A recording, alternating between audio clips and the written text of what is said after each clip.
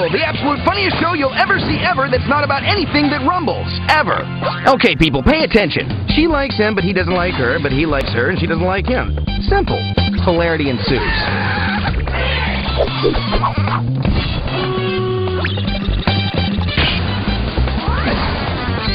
School is hard. And there's a pig, but the show's not really about the pig. It's about the funny. Funny, ha ha.